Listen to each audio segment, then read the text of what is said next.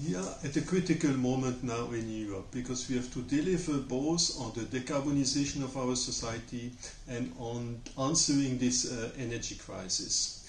We should really uh, take heat more into account in the political debate because this is half of our energy consumption. And we need concrete actions.